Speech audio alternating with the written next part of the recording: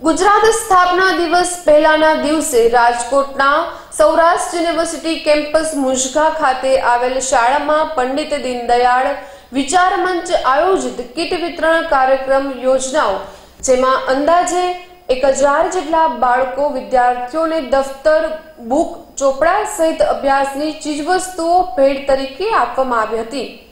આ કાર્યક્રમમાં દાતાઓ તેમજ શિક્ષકો ઉપસ્થિત રહ્યા હતા. વધુ વિગત રાજુભાઈ ધ્રુવે આપી હતી અહેવાલ વિજય મકવાણા.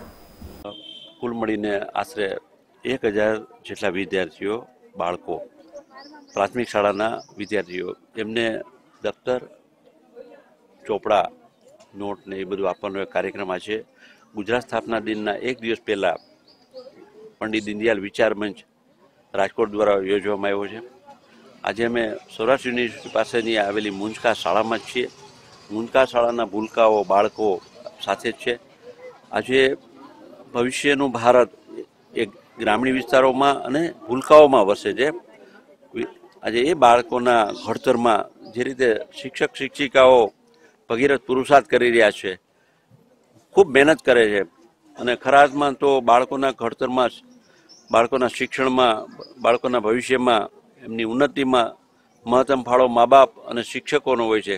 ત્યારે એ શિક્ષકો, એ બાળકો અને શિક્ષણધામની મુલાકાત લઈ આજે એક પવિત્ર કાર્યમાં મારી સાથે આદરણીય મગનભાઈ ટોટાવાળા, આદરણીય વનરાજભાઈ ગોહિલ, કે જે દાતાઓ છે, સાથે શિક્ષક, શિક્ષિકાઓ બીઆરસી સીઆરસી અને એક ગૌરવની વાત એ છે કે પરિમલભાઈ કરીને એક શિક્ષક, કે જે કોઈ મોટા દાતા પણ નથી, પોતે શિક્ષક છે, પોતાની બચતમાંથી બાળકોને કઈ રીતે ઉપયોગી થઈ શકાય, એ પણ એમને એક પ્રેરણાદાયી ઉદાહરણ સાહેબ દેખાડ્યું દર્શાવ્યું છે. આવા એક વાતાવરણમાં કે સૌના મનમાં ભાવ છે કે બાળકો માટે કંઈક કરી છૂટવું. આજે જ્યારે દેશના વડાપ્રધાન એક ગરીબ પરિવારમાંથી આવતા હોય, એક એવા ગ્રામીણ વિસ્તારમાંથી આવતા હોય કે જેમણે ભગીરથ પુરુષાર્થ કરી અને નેવાના પાણી મોભે ચડાવી અને આજે દેશના વડાપ્રધાન બન્યા છે. આજે આપણે જોઈએ કે રાજ્યના મુખ્યમંત્રી તરીકે એમણે શિક્ષણના સ્તરને ઊંચું લાવવા માટે ખૂબ પ્રયત્ન કર્યો. આજે દેશના વડાપ્રધાન તરીકે પણ એમનું મનમાં સૌથી મોટી વાત એ બાળકોના જીવન ઘડતરની છે.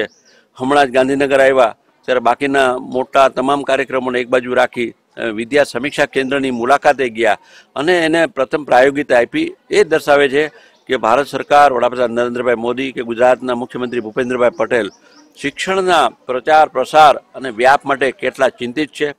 ત્યારે આજે શિક્ષક, શિક્ષિકા બહેનોની સાથે પણ વાત કરવાનો મોકો મળ્યો. એમને પણ કીધું કે બાળકો શારીરિક રીતે ખડતલ બને, એમનો શારીરિક વિકાસ અને માનસિક વિકાસ મજબૂતીથી થાય.